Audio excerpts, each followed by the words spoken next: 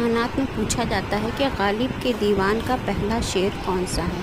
तो गालिब के दीवान का पहला शेर है, नक्श फरियादी है किसकी शोक ये तहरीर का कागज़ी है, पैरहन हर पै करे तस्वीर का।